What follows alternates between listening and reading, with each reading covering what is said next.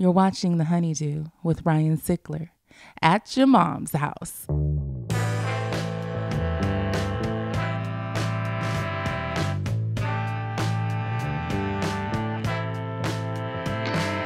Welcome back to the Honeydew, y'all. We're over here at Studio Jeans doing it at your mom's house. I'm Ryan Sickler. Ryan Sickler on all social media, ryansickler.com. Make sure you sign up for my uh, email blast over there at the website. The website for this show, thehoneydewpodcast.com. That's where all the merch is. That's where everything uh, honeydew related. You can find that there. And as I say every week, and I mean it sincerely, thank you so much for the emails, the messages, all the positive love you throw at the show. I really do appreciate it. I'm glad it's making a difference in so many of your worlds. Uh, it's doing the same for me. So uh, if you don't know what the show is, I call it, we're highlighting the lowlights over here. I say these are the stories behind the storytellers. And it is a pleasure to have this guest on. First time here on the Honeydew. Ladies and gentlemen, Dan Soder. Hey. Thank you. Good to be here. I've been dude. wanting to do this for a long time, man. yeah, man, I'm glad. I'm glad. I don't ever get out to LA, so when I did, I was like, I have to do the Honeydew podcast. Thank you so much. I have to uh, come say what's up and hang out. And yeah, dude, it's been They got you running around like crazy. I know. that. crazy. It's crazy, but I always trust a man with a band aid on his finger, so I know we're gonna have a good talk. That's a good solid band aid. That's a solid I usually don't wear band aids, but I was carrying a Christmas tree into my place and I scraped it along the concrete wall. And that one, it ah. went. It's pretty deep. I really do, though. I think I always have conversations with people with band aids on their fingers. Sometimes I just like to tape up too, Dan. You Dude, know I'll, what I mean? I'll I go just come full. I'll go full macho man fingers on people. I'll go walking around. you taped up, Yeah. just tape it up, bro. You go, dude, never why do you have man." full boxer hand tape? And you go, cut me, cut my tape off. At the end of my girlfriend, I'm like, cut my tape off. And I just have a conversation with her how the day went as While she cuts my gloves and tape She goes, off. "How did it go?" Went pretty good. And we're- oh, hold on, cutting it off. I'm like, yeah. Well, I am especially looking forward to this unfortunate conversation we're about to have. yeah, what a great way to say Uh, that. but before we begin, will you please promote everything you want? I know you got the special coming out right now, so please. Yeah, the special HBO hour special, "Son of a Gary," came out uh, December seventh. And congrats on that, by the way, Thanks, because man. before there was Netflix, I mean, this was it, man. And this if you is where see you it, would see Carlin and you know the monsters. I'm So saying, uh, you. if you watch it, just at least if if if you don't want to watch the whole thing, just at least watch the beginning to see that classic intro because it's pretty fucking cool. Yeah. I was pretty hyped on the intro. Um, but yeah, Son of a Gary streaming now, HBO Go, HBO Now. Uh, the Bonfire, Monday through Thursday, 6 to 8 p.m. Eastern on Comedy Central Radio, Sirius XM 95, dansoder.com for tour dates. San Francisco, Boston, bunch of cities up. Go to dansoder.com and get all those tour dates. And then at Dan Soder on social media. That's awesome. Yeah. Great. Um, so this is really you being here is just hitting a, a, a point. We were talking about this before uh, in my life because this year is 30 years since my dad passed. Yeah. And I think it was Thursday. What was Thanksgiving was uh, the 27th, I think. It Yeah. was the day he died 30 years ago. And I was in a, I'm in a really good because I, I thought, man, my God, you're a child at 16 Yeah, dude. to be to find your dad dead in his bed and think 30 years from now you're going to be just fine. I'm looking at my daughter. I'm looking at my stepson. We had the best Thanksgiving together. Um, and then I went and got a Christmas tree and for her mom's house and I was for her mom's house and I was uh, decorating it on that was the day my dad was buried. So he died on the 27th, buried on my brother's 13th birthday, by the way, Oh, on November man. 30th. Yep. Oh. Um, and we're I'm put her on my shoulders to put the star on the tree and stuff, and she just looks at me. She gives me the biggest fucking hug, and I was like, man, yeah. I and and to think how great I felt at that moment. And 30 years ago to this day, we Yeah. were closing the lid literally on my dad, and I was like, wow. So How did how did they uh, just a quick question. How did they shift from burying your father to your brother's you? Yes. Yeah, I'll tell you exactly. Very how. much so. It was. know. It wasn't much of a shit. Yeah, like how do you just being like That's he what was to a good man, happy birthday.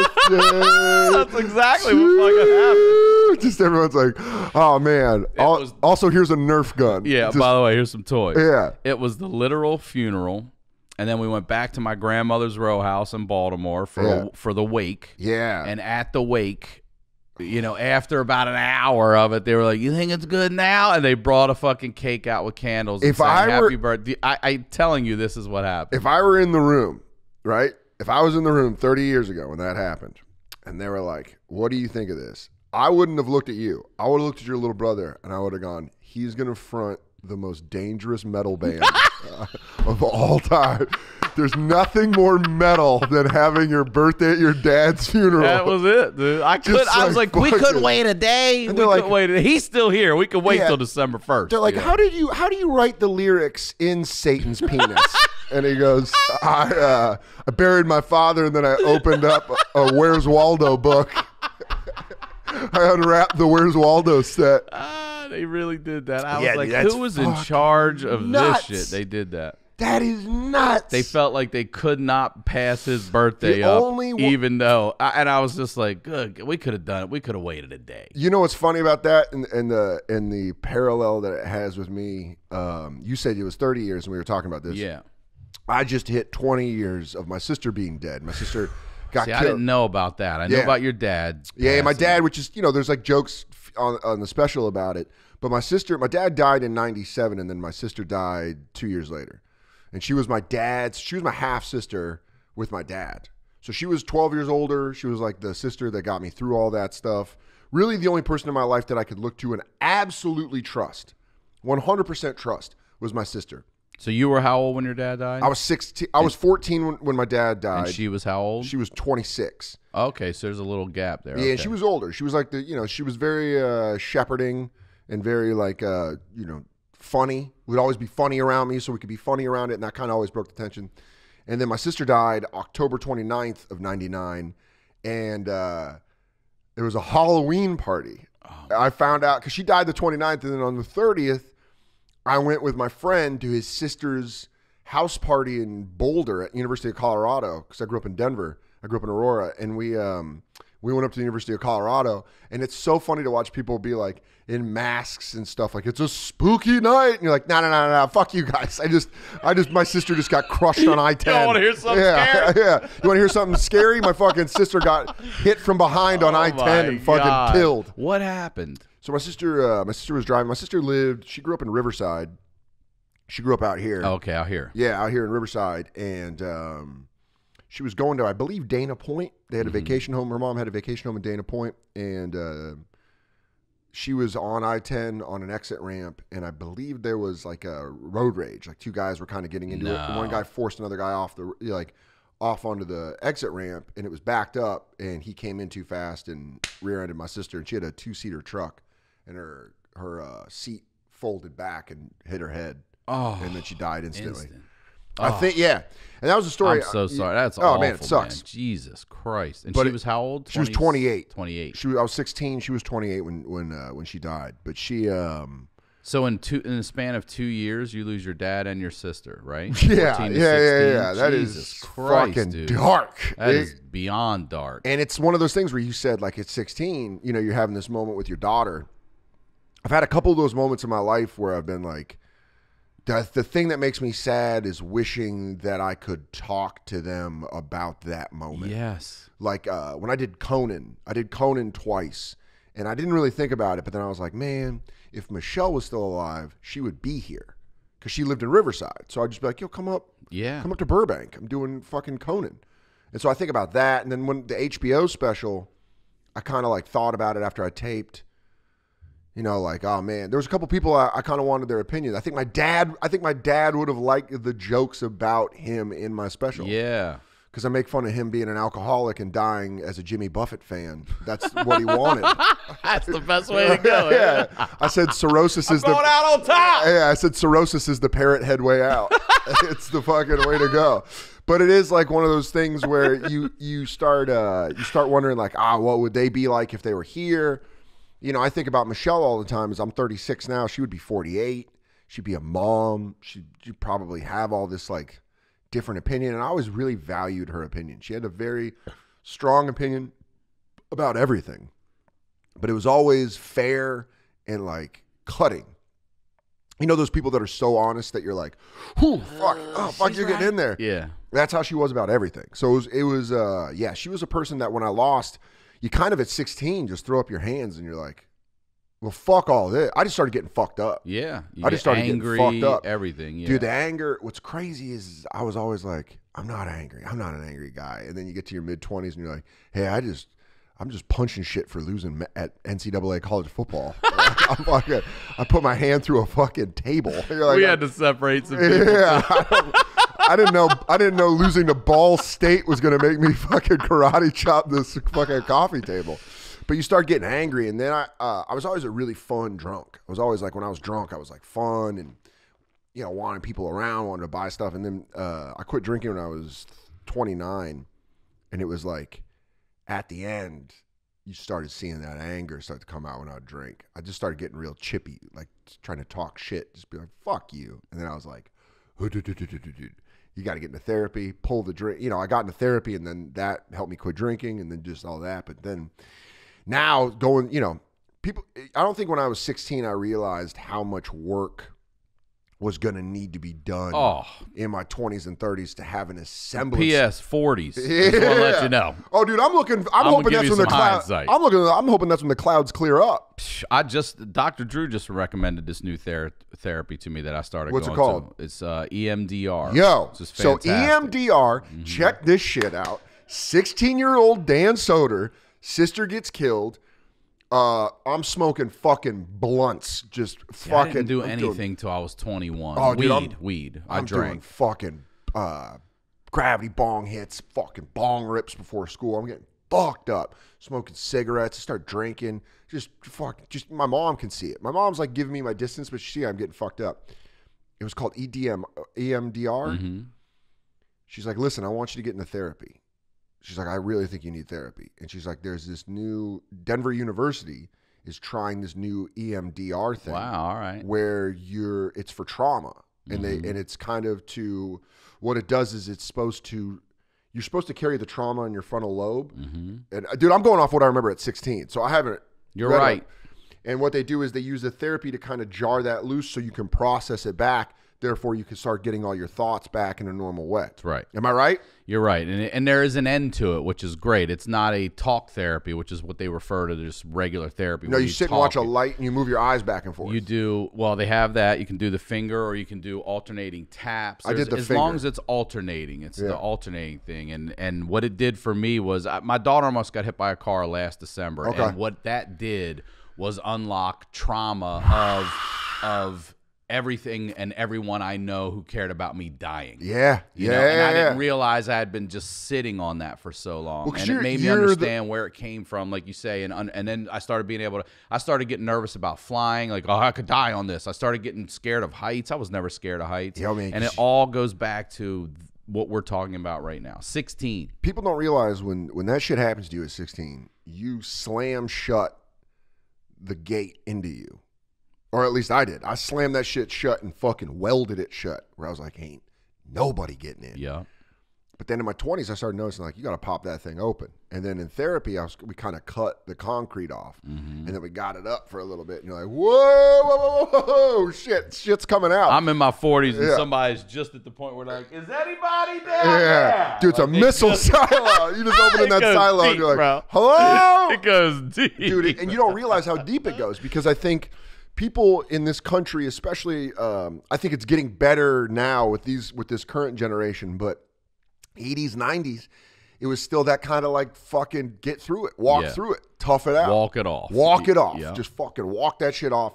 And i was proud of that for a long time. I was like i'm walking this shit off. This this isn't i went to school like the next day after my sister died and people were like what are you doing here? And i was just like i'm fucking walking it off. And, you know and you get to your 20s and you're like damn i'm i'm in a lot of pain and then you get to your 30s and i was in therapy and i was kind of like oh this is what's stopping me from allowing people in allowing people and this that was like mm-hmm. five years ago and now I'm to the point where I'm in a great relationship. I love my friends, but there's still shit that creeps up where you're like, what's still going on? And you don't realize it's like, I try to say, man, when you have trauma in your teenage years, your house gets flooded.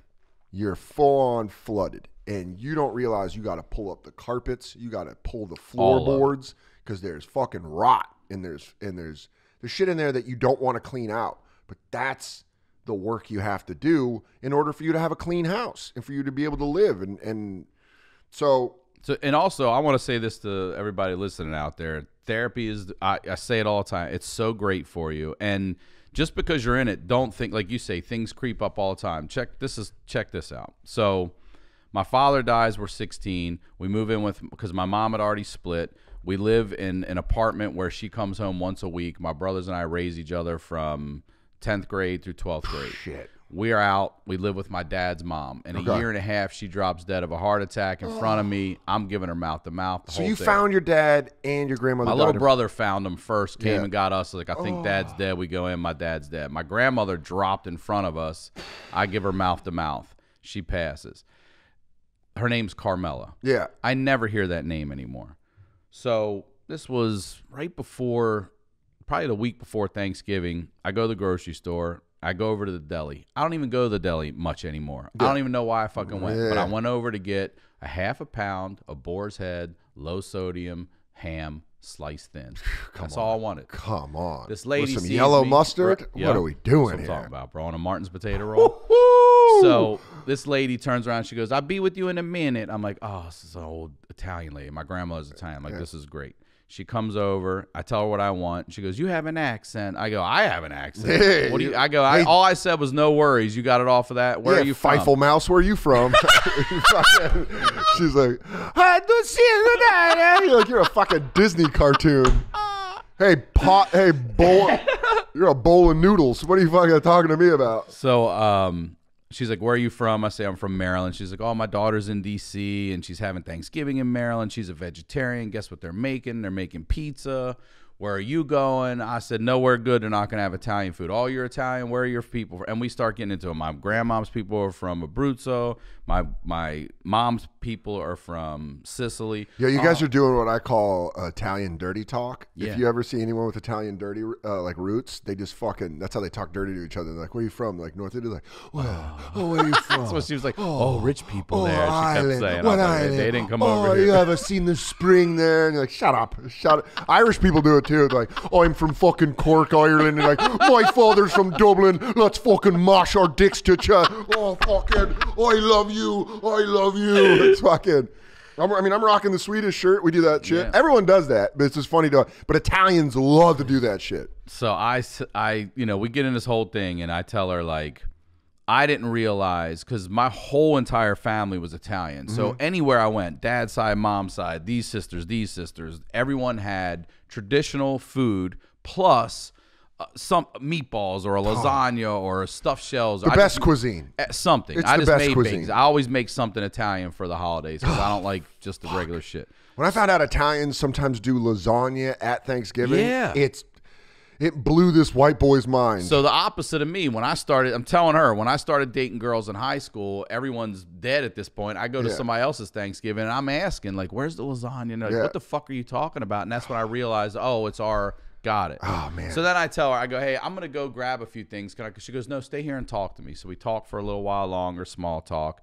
And at the end, I go, you're such a sweet lady. What's your name? And she goes, Carmela. And I go, I, I, I'm not even lying. I tear up. Did you get hit? Well, Listen you, to me. Well, first you get you get hit with that. It was like, but I go, I cold want- water. Did you say Carmela? She goes, yeah, Carmela. I go, that's my grandmom's name, the lady I'm sitting here telling you about right now. I can't. Yeah. And I pull out my credit card to show her my business is Stella Carmela, my daughter, my grandmother. Yeah. And she sees it and she's like, oh my God. I go, other than Carmela Soprano, Yeah. I don't even know I hear that name that often. She's like, nope. And I couldn't believe that shit. And do you know I've been in that grocery store six or seven times since? Have not seen her once. What? And I never saw her before that. Yeah, I I- swear to you, that's fucking weird. It's but just- shit like that just. But I think I you think no matter where you are. When you yeah, least but I also it. think like um, on a positive side of that, like going through that makes you more aware of stuff like that. Like going going through, like I was telling you, uh, my high, my middle school best friend and a kid I grew up with. Um, my dad and I, the only thing we shared was the San Francisco 49ers. It was the only thing. that's where, where like, he's from, right? Yeah, my dad's Northern from the East Bay. Grew up, grew up Bay Area. Uh, lived in Marin. Was just a diehard Niners fan. So it was like from the time I was, I was born in Hartford. It was like the time I was born, 49er stuff, 49er stuff, 49er stuff. It's the one thing that we shared. Whereas the kind of the one thing where my parents had a messy divorce. I was kind of in the middle of them. You know, my mom would be like, "You're not seeing your fucking dad. He's an alcoholic." So what age? liar." Take us there. What age they split? Five. Okay, you're young. Yeah. Yeah, I was young. And my dad moved to San Francisco. In fact, the Super Bowl that year was the Broncos 49ers. And my mom's family's from Denver. So she's a Broncos fan. Oh man. So she has a Broncos Super Bowl party, and her and her five year old boy, six year old boy now, is rocking red and gold, running around, and the Niners put a beating on him. it Yeah, was like fifty five to ten. Um, that was always one of my favorite stories. It just worked out that year because you know my dad lost custody but won the Super Bowl. Uh, you gotta you gotta take the go to the bed. I don't have my son, Yeah. but I got that ring. He goes, I got that. Woo! Got that fourth one. One for the pinky. Uh, so my dad and I, my dad would kind of come in and out of my life. You know, he's an alcoholic, and he he would uh, he would show up. He wouldn't show up. He would never show up, but he would call. And He uh, ne- so throughout, did you play sports and stuff in high yeah, yeah, school? yeah, I played And- I played football from 11 to 17. I didn't play my senior year, but I played like sixth grade through junior year. and he would not show up. Never saw him. No, never No. saw me. Uh, I don't think he saw, ever saw me play a baseball game. I don't think he ever saw me play any sports. Um, he always make that promise. Alcoholics are real good at promising things. Yeah. They're they're real good. You know, it's like twenty men in their twenties talking dirty to women. With like, I'm gonna fuck you all night. And they're like all night. Alcoholic dads are like, I'm gonna be there for Christmas. I'm gonna be there for your birthday. And you're like, ooh, I got a little league game. He's like, I think I want to coach it. And you're like, oh, like, oh fuck, oh fuck yes, dad, coach my fucking little league team. so I, uh, he always talked that shit, but but you know, never came through. But the one thing that we could always talk that wasn't bullshit was Niners. We just call up and just be like, oh fuck it, what's going on? Like, I was at my grandma's apartment. He lived with my grandma, and I was at her apartment in Marin when they traded Montana to the Chiefs. So I remember that San Francisco Chronicle that said like Chief Joe on it, and I just remember like, uh, you know, like all that kind of shit. The Niners were like the one thing that we had that that uh, my grandmother and I have. You know, I, I watched the Ravens Niners game at my grandmother's Yeah. house in San Francisco. Oh, that's awesome. yeah, it's fun. I love old ladies that love sports and Yo. play cards. That's all. all we do. That's all Dude, my, my grandma. grand- that's all, all my grandma does. I love those ladies. She beat the brakes Yeah, off me in gin rummy. fuck, yeah. She's 92 and she fucked my shit up. I beat her on the first game, and legitimately, I was like, man, I think Nana's getting old. I don't think she can hang. And the next day, she hung. And for those of you that know gin rummy, she was up 445 to 81 on me. Just beating me. I don't care if you know Jim Rummy or not. 445 to 81's an ass whooping in any that's event. An ass whooping. She was putting it on me. I fought back and got over 200, but fuck, she beat the shit out of me. And then I show up, and then I show up That's hilarious. I, I had to drive down. It's a long drive from my grandmother's to San Francisco uh, to SFO. So I like pack so I can just watch the game with her, and then I can just leave. You know, at the end of the game. And I come downstairs. My grandma is all night just decked out Niners, and she's like, "Yeah, that's what I wear every weekend." And you're like, "I love that shit." I love it. 92 years old. She just loves it. She just she's into the to the Niners and the and the Warriors. That's what she loves the most. Which breaks her heart because I'm a Nuggets fan because I like chose the Nuggets. I Yeah. like, I want a Denver team, but the 49ers are kind of just this thing on my dad's family that no matter what was going on, we could talk about the 49ers and that stopped the drama of not showing up for my birthday, not showing Yeah. up for any sports games, missing Christmas presents, stuff like that. Yeah, being a dad, Being a dad, a responsible doing the actual work of being a dad. Putting the time in. Um, but you know, you talk about like you're seeing that lady Carmela, and it's something that you only realize because you lost your grandmother. Yes. That you realize that, and that it's important to you. So uh, one of my best friends in middle school, Michael McDaniel, is just this. Uh, you know, he becomes an NFL coach, and that's fucking great, Yeah, that's or big. whatever. Uh, he was with the Atlanta Falcons as their receivers coach. I believe he was the receivers coach, and then they lose to the Patriots in the Super Bowl. And I thought he was going to get the offensive coordinator job because I knew Kyle was leaving. I knew Kyle was leaving. The, Kyle Shanahan was going to leave to take a head coaching job. I checked my phone one afternoon, and I just have a text from McDaniel that's like, "I'm a 49er," and I was like, "What?" And I knew Kyle got hired. That's Kyle- his childhood team too, right? No, he was a Broncos. Oh, he was a Broncos. He- I was I was a 49ers fan growing up in Denver because of your dad. because of my dad. Right, And it was got just like, dude, him and his mom, McDaniel and his mom growing up, diehard Bronco fans. I would wear my Niner shit over on Sundays, you know, and they'd be and his mom would be like, "You're wearing the wrong stuff. You got to be in orange and blue." Just joking around. His mom Donna's the shit. She's the fucking best. Legitimately one of my favorite people. And, um, you know, there's like this weird thing where all of a sudden, I'm like, man, my dad would trip the fuck out to know McDaniel is the Right. run game Yeah. Of the San Francisco 49ers. Your dad would probably never leave him alone. Want to talk to him all. Come It- over, come over. He'd probably be a better dad than him. he'd probably fucking he'd show up to his games. It's never too late. Yeah, yeah. I'm coming all I'm your coming to games. games. Like, hey, fuck. Of course you're going to his games. Uh, but it was one of those cool moments where it- that caught me where, um, you know, I felt like such an outsider the whole time. I, I think just in life, I kind of felt like an outsider. Yeah. And which is very easy to do in life. But especially being a 49er fan in Denver and all this stuff. And then I went to uh, the Thanksgiving game a couple seasons ago, about three seasons ago, with the Seahawks 49ers. And I show up to McDaniel's apartment to meet up with his wife and his, uh, you know, his family to go to the game. And I walk in his apartment, and there's his mom standing there, head to toe in Niner stuff. And I'm, I'm like, you finally got the right gear on. That's she was great, like, dude. She was You like, it took me. it now. Yeah, she was like, it took me 20 years, but we did it. And I was like, come on. And it was. It was like 20 years, you know. And so I think that that kind of stuff. But something that really affected me was, uh, you know, when you have when people die in your life, you you forget uh, how they move, how they talk. Oh, you're striking so many chords. A friend of mine just sent me a video of my grandmother. Yeah, And her on. voice, Yeah, it was slightly higher in that video than I remembered in my head. for sure. you know? But my dad's been dead since '97, so I don't remember his voice. I, yeah. But then you start having dreams about him.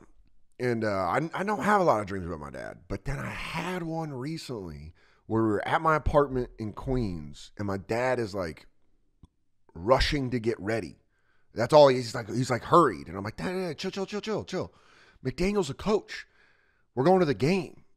Like it was like me setting him up to be like, wait till you see the access we have. And it was just kind of one of those things where I woke up and, but I could hear his voice in the dream. So when he talked, it was his voice. But then I woke up, I'm like, I don't remember what his voice was. Yeah. And that's the saddest shit where you're like, fuck, man. Like people now are, you got videos of everybody. Everybody's got a video. But if your parent died before 2000, good luck. I have photos, some photos. I got- Wait, yeah. I'm gonna I'm gonna read you something right now. Hold. Yeah. I got my phone right. If it's a letter from my dad, I'm going to cry. He's like, oh, I'm sorry I missed your fucking Spartans football game. You're hitting so many. we lost 116 to 0. yeah, dude, it's um, I feel like this generation now is going to be luckier cuz you're going to have videos of people. I want to read this to you. I, I just was on Brant Tobler's podcast when I was out in Denver, and I um, I read this, and this was a dream. I don't have dreams that often. I don't Yeah. remember them that much. Me neither. This was two years before I had my daughter. So, and I was going through some shit too. So this was, and I wrote it down. I don't ever do this either. This is a dream I had about my dad. Saturday, early a.m., April fourteenth, twenty twelve. So this is seven, Seven years ago. Yeah, years yeah, yeah. ago. All right. I dreamed. I, this is what I wrote. I dreamed I was piloting a helicopter, and my dad was sitting in the seat behind me in the same helicopter. We're flying together for a while. I didn't know what I was doing. I bounced hard off the ground a few times. I brought it back up. My dad's telling me how to control it.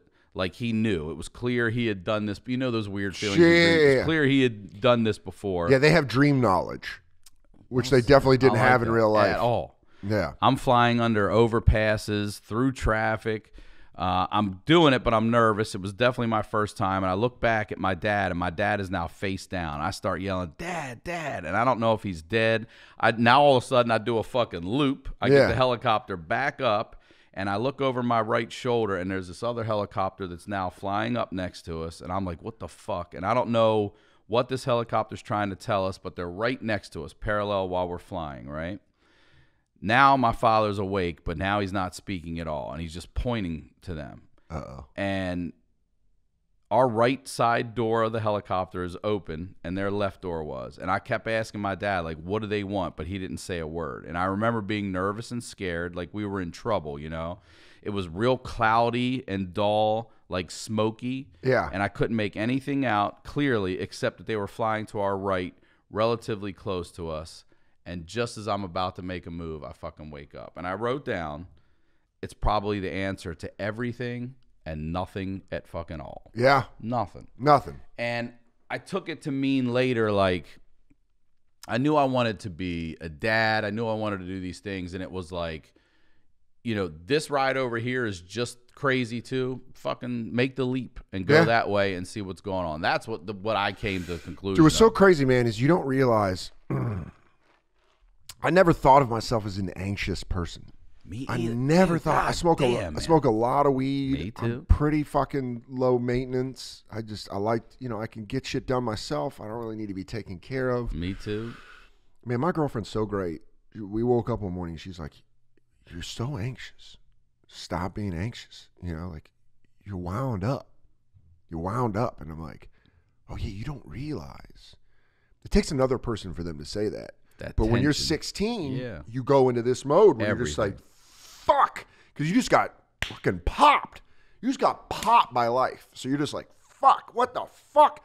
It's like if someone came in your room and just started beating the shit Beating out of shit you in the middle of the night. and you wouldn't sleep. you're You wouldn't sleep for ever." fucking weeks because you'd be like, "I'm gonna, I'm gonna fucking just That's your coming head again. off the fucking pillow," and you're like, "What the fuck?" But it is one of those feelings where it's like, now through therapy. So when, so when my sister died when I was 16, that EMDR, uh, it was an experimental thing in Denver, mm-hmm. and my mom, through her insurance and knew a couple people, got me into a, a therapist that wanted me to do EMDR because it was fresh. My sister had died maybe six months before that. Man, I fucking blew that off. So I would just smoke so much weed and go into therapy and just be like, I don't know. There's a girl I like at school. And she'd be like, What about your sister dying? I'm like, I don't want to talk about that. What's up with Jeannie being a bitch? you know, it's like, you're talking about stuff like that. Help You're like, dissect uh, that. I, yeah. Why didn't she like me? I like her so much. Why doesn't she like? And then, you know, now it's funny because now here we are, twenty, literally twenty years later. My sister died in '99. It's 2019, and you're seeing EMDR being like, this could really be the breakthrough, and you're like, fuck. It's like kind of like finding out someone came to you in the '90s and was like, you should invest in Apple. Google. Apple. Yeah, right. Yeah. Put money in Apple, and you're like, fuck that. I'm a Mac, you know, like I'm a Mac guy. Compact Mac, yeah. all the way, man. You're I'm getting a Dell, dude. You're getting a fucking Dell. And then you're like, son of a bitch. I had it right there. And I'm kind of interested to do it because I do believe whenever I have like a lot of um, intense moments, or uh, especially during the taping of the HBO special, because it meant so much to me and I put so much work into it. I went and did Edinburgh Fringe Festival. And then I, you know, it was like this leading up moment. It was in New York. I've never done a special in New York. I had family out. I had friends out. I had all these comics that I love coming out. And I just remember the headaches I would get would be right in hmm. here, just right in the front lobe. And I was like, man, maybe I should have done you that. carry all that shit. Yeah, maybe I should have done some EMDR because whenever I have a good therapy session, it does feel like something like whoop, like one of the balls is like bloop. like when I found out my therapist broke down the fact that he was like, "You're angry because you're in pain," and you're like, "Fuck you, fuck you." I'm, I'm crying at the Yeah. deli counter. I'm like, fuck you. What the fuck you mean? I'm fucking angry. I'm fucking, I'll fucking fight you. I'll fucking fight you. Uh, and then he, and then I realized he was like, I used to have a, uh, my mom and I have a great relationship now, but we had a real tough one from when I was like 12 to 16. It was, I think it was a lot of anger. 12 to 17. I had a lot of anger towards her. And my therapist was like, yeah, yeah, you're just misdirecting your anger at your father, at your mom. She was the parent that was around. So that was the parent you could take it out on. And you're like, and then, then I call my mom and I'm like, I'm sorry. Fuck, I'm sorry. You were fucking awesome. They like, you know, Wow. My bad. And it, it kind of just the thing with parenting. It's such a long game, man. Yo. Hopefully, you you hope you you raise your kids in a way where they re- hit that realization. You live long enough, Yeah. Because your dad's never going to get that call. No, my no, dad's never getting that. Yeah, but my mom got that call like, Yeah. fuck, lady, you did so much. But then it's also like, um, then I realized like, oh, I haven't been allowing people in. Like Big J, we're on the we're on the radio show, and Big J's like, how come I never know your girlfriends? How come you have girlfriends and Christine and I don't hang out with them? You know what I mean? Vecchione hangs out with them because that that's my roommate. And he said that, and for the first time in my life, I didn't take it defensively. I didn't take it like, well, fuck you. Why do I gotta fucking? Because that was that was my whole life. Like, fuck you. Why do I gotta fucking share with you? Why the fuck do I gotta? That's basically me being like, don't come in. Right. Don't come. But then, again, it started happening about four years ago, where I started starting to let stuff in and, and let and stuff happen, and uh, I was like, yeah, man. And my girlfriend now, we hung out with Jay. We hung out at uh, backstage at Nate Nate Bargatze did town hall, Yeah. and she and I were in the green room with like Jay and Veter and like a bunch of people. And I was like, oh, this is what it feels like. Like this is what it feels like when your friends are friends with your girlfriend, and they're like, hey, come over here. You know, like, hey, we're gonna take a walk. We'll be right back. You know, you're like, yeah, cool, whatever. And then the next day, he's like, man, she's the best. She's, you know, he's like telling you, like, he was telling me, like, dude, great. You got a great one. You know, she gets you, and, and it was that was that was a very rewarding feeling to be like, oh, oh, I don't have to prepare. I'm always preparing to get hit. I'm always like guard up, and you got to realize like that fucks life up Yeah. because you got to. I read a really interesting article You can't be any more vulnerable than this. than this. Just hands down to your side, and you're like, fuck, fuck. And I think there's like uh, you know my therapist calls it? Future tripping. I love that term. future tripping. We're always thinking about this and this and this and this. None of that's even happening. Yeah. None of it's even happening. But you're you've had that argument in your head already. You've already thought out what you're going to say sometimes on, or you thought about how this is going to go down. Like even with the, I, I'm worried about this plane crashing. Why? You're we're sitting right here having a great conversation. What the fuck are you worried about that? It's future no- tripping. I, you know what? I'm having such a good time having this conversation with you right now, and I'm probably going to get a case of the flu in the next five years. So why fucking worry about it now? Exactly. I'm going to get diarrhea in the next three months. you might get it after that coffee. I might, but I might be slipping and sliding all over LA. But it, it really is, man. It's a, it's a tough thing to learn because I think when you go through trauma as a kid, you go immediately into this fucking battle stance. You're in a battle stance. well, you've like, just been like you said, blindsided out of nowhere twice twice. for both of us. Yeah. And you want to make sure you do your best to the that hopefully that shit doesn't happen again, or at least that you're somewhat. I, you can't. I, Yeah, it's funny because someone say, "How do you you uh, you can't even even right now? If, if I had to go back in time to that moment with the knowledge I have now, I still wouldn't be prepared for that. You can't be prepared for that. Shit. The only thing I would, if I went back to that moment, the only thing I would think about is that I smoked cigarettes, so I'd be happy to rip open a pack of fucking Camel Lights. That's how I fucking rip a Camel Light. That's how good cigarettes are. They're the only thing when you go back to your trauma that you're like, I'd fucking smoke a cigarette. I'll tell you that much. I uh, one of the things there was this very fascinating interview with Stephen Colbert that I read, and Stephen Colbert lost his father and his brother in a plane accident. I just recently learned that too. Yeah, I didn't know that. and Martin Short lost. It was a it was a Rolling Stone article about Martin Short, and Martin Short lost both of his parents when he was a teenager. Like, I didn't know that. and not I I. I don't want to speak incorrectly, but I, I don't believe it was simultaneously. I believe it was a one-two punch the way we've gone through, where it's kind of like wham, like a setup, and you're like, "Well, that oh fuck," Yeah. and it's just coming back. Um, but something really interesting. Martin Short quoted Stephen Colbert as saying, "Just because you're fireproof doesn't mean you're not afraid of fire." So it's like you go through that and you come out tough as fuck, man. Like I've made a joke that if my child ever says they want to be a comedian, I'm gonna go in the next room, get a gun, walk in in front of them, and go be funny, and fucking blow my brains out. Because it's just like you just fucking. I already told my daughter Yeah, she's not yeah. allowed to be a comic. Because it is, man. It's like I got misquoted in an article that I that really fucking pisses me off because uh, I've been saying that I think recently comedy has became gentrified by people with non-comedic sensibilities. There's a lot of people in comedy that they don't want this life. They, they see it on Instagram and they see the full theaters and they see the full they see people doing shit and they're like I want to be a comedian but it's like we all have that reason that we have to do it and a lot of the times comedy was the first place I met people like you where it was like yeah, oh your dad's dead my Right. dad's dead No one in school related to me. you know, yes. my, one of my best friends growing up Dennis his dad died and that was the thing where it was inval- it was so fucking beyond valuable to me to have someone to be like yo man uh, Father's Day sucks and be like fuck it let's drive around smoke a blunt let's talk about our dads and you're like I would love to and you don't realize that like it makes you feel more. My therapist says you got to let it in because you got to let the bad in because that's how you let the good in. It's all got to come in. I love Alan Watts. I love the book on the taboo of knowing yourself, and he explains that it, this is all one thing. The good is connected to the bad, yeah. and it's all and you have to understand both of them. You have to. Yes. And and I uh, say all the time, you got to sometimes you have to sit in your shit for a little bit and understand what's going on around you. Take stock in how bad this is and what it looks like and, And what it feels like. and then get the fuck up. And Yeah. move on, and don't forget that because it's gonna come back, like I said, at the deli fucking counter. Exactly. One of the things was- Thanksgiving, for Christ's sake. I was yeah, I always was worried about people being mad at me for a long time. I was really worried about that. My 20s, I was obsessed. Like my therapist said I wanted to be liked. It was just like this thing where like I want you to like me.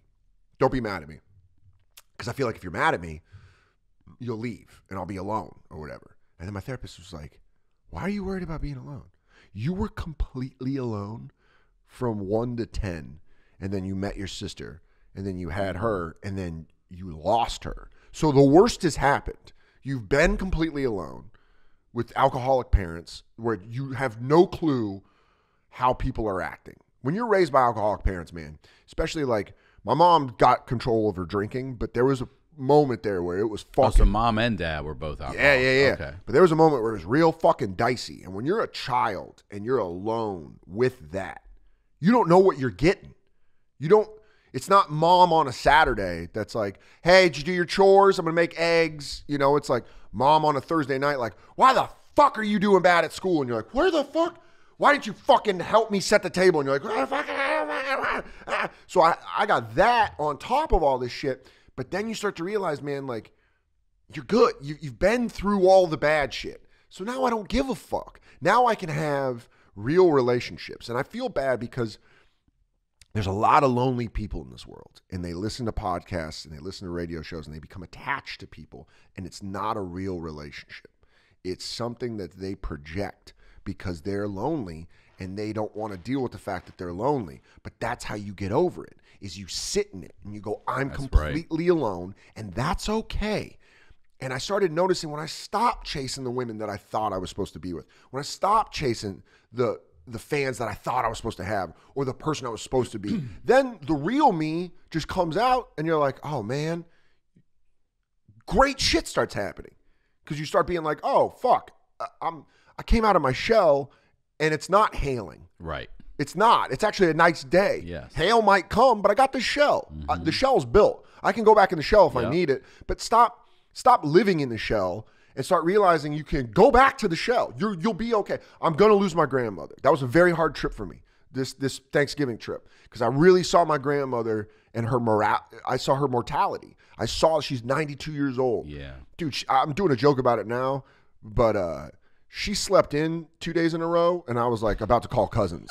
I was about to be like, let's fuck it. Y'all need to get up. Yeah, yeah, you guys gotta get up to San Francisco. Some shit fucking went down. You know, I was like, she time it out. But then it's like, but then it's like, I'm gonna lose her. I'm gonna lose my mom. And I losing my mom, I've thought about it, is gonna fucking wreck me. But guess what? I'm also hopefully gonna have children and bring new life into this world. That's and it. I'm gonna have new friends. And then you're gonna have new anxiety. And and new shit. By the way, once you have those kids, it starts bringing. Because, like you said, I wish I could have talked to my dad about being a parent.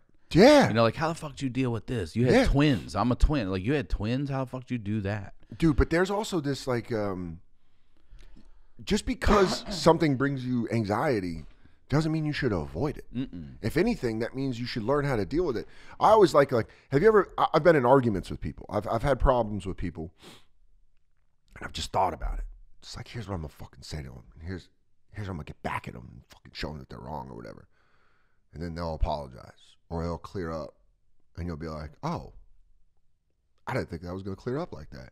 But then there's a new problem. And then you go back to being like, I wish I had that old problem. Mm-hmm. Because you know that old problem fixes itself. Well, guess what? The new problem's going to fix itself. But then there's going to be a new problem. There's always gonna be something. That's what life is. That's it. I I feel like th- there's a there's something to be said about embracing challenges in your life. Like I did this HBO special and there was 2 weeks where I creatively was like I guess that's it, man. I guess that's just all the comedy I'm doing cuz I love that hour I put out. I love that HBO special hour cuz I busted my ass on it. I guess that's it. 2 weeks later I'm like, that was a funny joke. Oh shit, and you go on stage and you're like, "Oh fuck. You know what? I'm wrong. Now I got I have more to say. And hopefully in 2022, the next special, whenever that comes out, I'll be like, oh fuck, this was that, that makes my HBO special.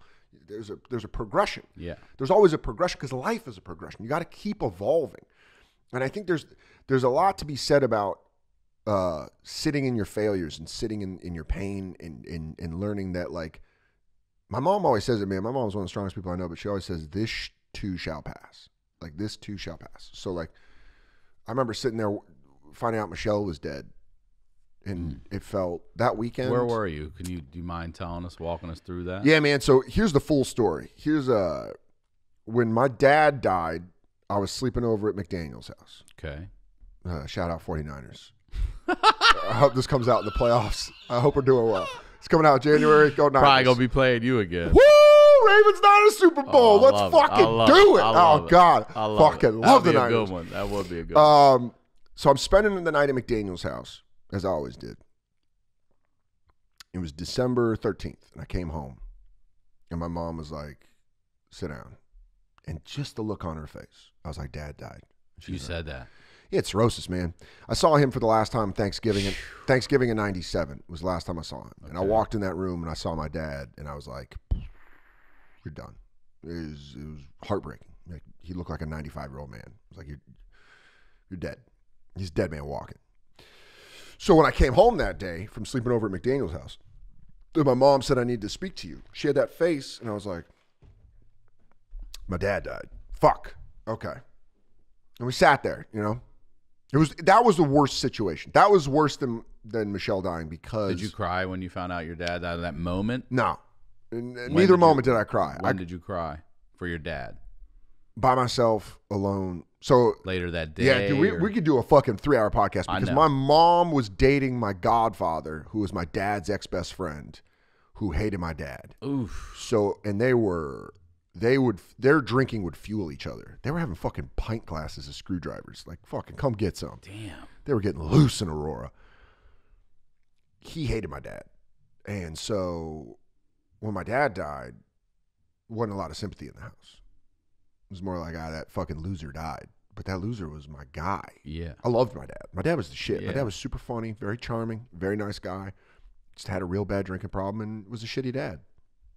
Um, so that felt weird because I didn't have the sympathy that I needed. I needed them to be like, "Are you cool?" Right. It's a, it's a major wound. You got to treat that shit like I got shot. Right. But they didn't. I was walking around the house like Antonio Banderas and Desperado, just fucking trailing blood against the wall. it's against the white wall. I'll like, just keep my hand yeah, over this and bull. they go, "Yeah, is it mariachi, and you go, no, it isn't." yeah, it was, it was fucked up. And then um, we played a high school football game um, my junior year, and we slept over at my friend Zach's house. We drank beers and slept over at my friend's my friend's house. And um, I came o- I came home that Saturday morning, and my mom, her boyfriend was moving out. Joe was moving out. He was getting out. So this is supposed to be fucking mission Yeah, accomplished. We got the fucking we got the insurgents out. And I come home and my mom's got that same look on her face. And she's like, I gotta talk to you. And immediately I'm like, Did Nana die? And she's like, No. And I was like, Aunt Karen, who's my dad's sister, who's like my second mom.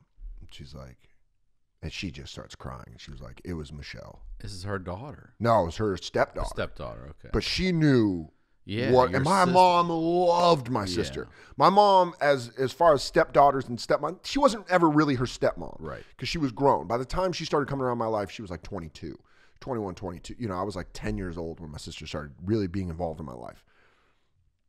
And I just remember that face. And she was like, It's Michelle. I just remember getting up from the couch and walking Oh. like down the hallway and then like kind of falling and then being like get the fuck up and then just being like I, just walking upstairs to my room and my mom was like hey hey hey hey you know and then i was like i gotta take a drive because i had a car and i went and i went to my friend zach's dad's house frank frank the tank and big notre dame fans and they were watching notre dame navy and it was fall it was, it was october All 30th helmets in that game. yeah, all gold helmets, and it was uh, The leaves were all on the ground, and I sat on the front of Zach's Blazer with him, and we smoked a half a pack of Marlboro Lights. And I just remember sitting there being like, "What the fuck?" Your mom's had to tell her son Yeah. that his father and, And his sister. sister. both were dead in two in the two four year span. Two years. Two year span. Yeah. Jesus. A little under two years. Fuck. Yo, but then I hang out with my grandmother. Both of her kids are dead, and her granddaughter. 92. That's the other thing. I, I said this to you outside because I had a, a fan recently reach out to me, and I, I said, I want to be something my father never was, and, and that's an old man. But Yeah, that's the thing. You wish for certain things, but you get to be 92, you could outlive your kids, you Yeah. know, and that's that's a frightening and you could thought. outlive a granddaughter. Yeah. So what's crazy about that is something that that we said that um, you know you were saying we were talking about being old because I said my sister died when she was 28, and so when I turned 29, that was kind of a weird year for me because I'm like I'm older than Michelle was when she died. The thing about my dad dying because you're older than your dad now. I am now, yeah. The math that really fucked me up. The math that really fucked me up. Same year as as when I counted the Michelle years that I was 28. The math that really hurt me was when I was 29, that was 15 years my dad was dead, which means he had been dead longer Then than he, had been him alive. I was with you on that math too. And I that was, was like- the same thing. I was like, wait, He's been gone longer than he was around. Yes. And that's the kick in the dick. Yeah. That's when you're like, come on, man. Come on. I'm supposed to be like 70 and being like, oh, my Yeah. dad's been gone longer than he was around. I'm fucking 29 and being like, oh, yeah, dad's been gone longer than he was around. It's just weird as it's fuck. so weird. It's I, weird I said. I, I don't. I don't know if I'll ever feel. I could live to be hundred. I don't know if I'll ever feel older than my dad. I I, you just will. this feeling inside you. You know, it's not Dude, about see- a number. I, my dad had a mustache. Mhm. Just a fucking that hunted banger. mustache, Just a banger of a bartender man. mustache. Just a great one. And you know, he was 34 when he had me. I see 34 year olds with mustaches. I'm like, clean your fucking life up. clean your fucking life up, dude. What the fuck is wrong with you? Get your shit together, dude. So you went. I know we got an eleven. no, I could do I could do this podcast for seven fucking hours. That is my grandmother's address right there, eleven eleven. That's unbelievable. I got that. I, so I went back to Baltimore one time, and I went to her old house, and it like I was drinking with a buddy, and at two in the morning, I went and took one of those old, you know, those military shovels where you can Yeah. head and Yeah. Yeah. I went and pulled that shit out of the fucking brick and stole it off that damn house, and I have it in my house above my door. I repainted it and made Come it nice on. looking. It's eleven eleven was her address, and I, I still gri- drive by and on where the I don't know why these people did it, but they they didn't put it right over the old one. They put it right next to it so you could still see where you fucking Yeah, carved it I out. carved it but out that's that fucking, that's fucking what's up. that's great as fuck. Yeah, dude, that's like there's certain things you got to hold on to. I have my dad's Niners jacket, the '80s Sheen one. It's the still starter. Yo, dude, the old the, with the, gold. with the 49er Yeah. gold Sheen one that are back now. They came Mm, back yeah, like five years ago. Yeah. But yo, the crazy shit about it is it's in my closet in my apartment. You can still smell the Marlboro Reds. You can still smell the fucking cigarettes that he smoked. Just talking shit about Steve Young, Jerry Rice. Not talking shit, talking shit Yeah. probably about fucking Jim Everett and the fucking lowly Rams and the fucking Falcons who were in the NFC West in the 90s, which made no sense. But it is um yeah, man, that math, you start doing that math and it's uh If it trips you out. yeah, it's a bummer, dude. It's a fucking bummer.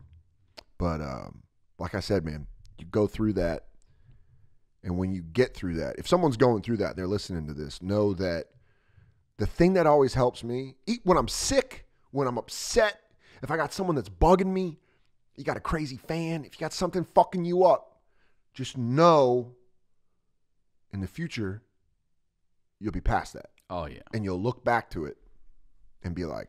You might not even remember some of it. I guarantee you won't remember most of It's it. It's so much bigger at the time than anything really fucking is. but that being said, learn how to be in it when you're in it. right. I'm trying to do that right now with this HBO special. I'm trying to enjoy the fact that I, I, I got an HBO special. dude. crazy to me, man. Crazy. 16 year old me. I was gonna say. 16 year old me is watching Dave Chappelle's Killing Them Softly, realizing he wants to be a stand up comedian. 16 years old. I loved comedy my whole life. My dad and I bonded over Dangerfield, over Robin Williams, over SNL, over Eddie Murphy, over Pryor, Carlin, and then to see Chappelle at 16 Yeah. Changed my life, changed my fucking life, and it made me want to be a comedian. But at 16, I needed that thing. I needed that thing to look at and be like, fuck all this. I want to see that Sesame Street bit again. You know, like fuck all this shit. I want to see George Bush offering to suck a dick. Sign the treaty, baby. Uh, there's just so much. There's. It's like now I'm trying to learn. I got a girlfriend that I'm crazy about. I got friends that I love and respect. I fucking can take care of my mom. I can take care of my grandma. I'm trying to enjoy all that, dude. You Niners are fucking ten and two at the team. moment. Hopefully in the playoffs in the future. But you know what I mean? I got a, I got my fucking middle school best friend is calling That's plays. nuts. What are we doing here? Yeah. And I'm gonna be worried that my phone doesn't charge right. Right. And look at all and see here's the other thing that we have that the dead people don't is hindsight like look at all the cool your dad would shit himself right Yo, now man. to talk to your best friend about what, Yo, what- my what kind dad- of plays you what, what's this right here well he probably My- would be in there watching uh, film tape My him. dad would shit on the fact tape, that tape. I'm on first name basis with the head coach of the San Francisco 49ers. Yes. I know Kyle. He was probably more than your HBO special yeah, like you I guarantee Yeah. he'd be like HBO, cool, cool, cool. Yeah, you sit in the office? You go in the office when you go to games? I'm like, yeah, I was in I was in the wedding party with Kyle. And he's like, what? that is You know? And you think like, yeah, I sit there and be like, hey, fuck the Seahawks. I'm like, yeah, fuck the Seahawks. that's why I want to stick around I want to see what my kids fucking do Yo, man, that's. I I, really, took- I've, I've been thinking about that a lot, and I, I'm like, I definitely always knew I wanted to be a dad, but um, but now when you think about that, it's like I definitely want to um, yeah, have a family. I want to continue on. I want to continue on to be to keep evolving, to keep growing. Because I mean, dude, think about you before your daughter, and now think about you with a five year old. yeah How cool is Christmas now? right it's the best Because you get to fucking the blow best. that girl's mind. Yup. You get to blow your little girl's mind and be like, hey, we got Elf on a shelf, and you're just doing shit that maybe 27 year old Ryan Sickler's like, this is fucking dumb. yeah this is fucking stupid this is fucking stupid, Yeah. dude. I ain't fucking doing this. And then now you're like, where's the Elf on the shelf? And Uh, we like, don't do I don't do elf on the shelf. you know, That's gonna- little- that'll kill you, the Yeah, Elf on the yeah, shelf. Yeah. Elf on the all right. You're like, dude, come on. I'm Just that fucking- little motherfucker sits not and watches. Yeah, yeah, I'm he not going. move. Yeah, that, There's a lot of rules with Elf on the move. they call the that cuck on a shelf. he's, fucking, he's just trying to That's my enjoy. He's trying to enjoy Christmas. I just um so I was saying so my stepson his name's Derek. Yeah. I took him to uh, the Ravens Rams game. I've become uh, friends with Orlando Brown, the tackle for the Ravens, who's a fucking awesome dude. Yeah. And his story is just incredible. I can't wait to have him here because his story is unbelievable. Yeah, you were And- telling me before the show, and it's fucking unbelievable. It's nuts. He's a Yeah. Maryland kid that that got drafted. His dad played for the Ravens. Got drafted by the Ravens. His dad well, his dad passed. He gets drafted by the Ravens. Wears his dad's number. Plays his dad's position, and they have some of his dad's old Come equipment. on, man. I mean, come on. come on. It's unbelievable. So I can't wait to have him on. But he gave us tickets. Thank you, Zeus. And we went. Tom Segura, my uh, Derek, and I all went. And then we went and met him after. And I'm telling Derek, like I'm looking at this 16 year old kid. Like at 16, you look like a baby. This was me. Yeah. This was who I Yeah, was with yeah. no dad or anything around. And I'm telling him like, take pictures of this shit. Remember this shit because when I was 16, we didn't do anything like this. yeah, yeah you didn't think like No, we. I mean, but nobody knew anybody. You know, we Yeah. just you go to the game, watch the game, whatever. That was it. So, like all these added things that that come with having a family and seeing what they do and everything. It's, Yeah. it's pretty fucking awesome. Yeah. It's unbelievable, man. I appreciate you having me on, dude. Dude, thank you so much for coming on. Um, I want you to real quick. We're gonna start a new segment here. We're gonna do a new segment called "Dear 16 Year Old Me." You can Yeah. look right at your camera All there. right. What give advice to your and it could be when you're 16. You could be look look when you're 40, invest in app, whatever. Yeah, yeah. But whatever you want, please. I would say 16 year old me, two things. Enjoy those cigarettes before you quit because they're fucking sweet. Have one for me right now. Just go outside and light one up in the backyard and just fucking throw the tennis ball from Montana. Uh, number two, get into therapy, man. Asking for help doesn't mean you're weak, it means you need help. And I think 16 year old me needed to hear that. I think so too, dude. Yeah. Uh, thank you so much for Dude. coming on. This has been fantastic. You're the fucking man, dude. It. I appreciate you Uh, having me. promote one more time. Plug HBO everything. special, Son of a Gary on HBO Now, HBO Go. Fucking please go stream it. Uh, hope you enjoy it. DanSoder.com for live dates. Uh, at Dan Soder on social media and listen to the bonfire Monday through Thursday, 6 to 8 p.m. Myself and Big J Okerson, Comedy Central Radio. It's the shit. Uh, you're the shit. Thanks for having me. You're the shit. Thank you. On, uh, congrats on all your success. Thanks, man. Uh, as always, Ryan Sickler on all social media, ryansickler.com. We'll talk to you all next week.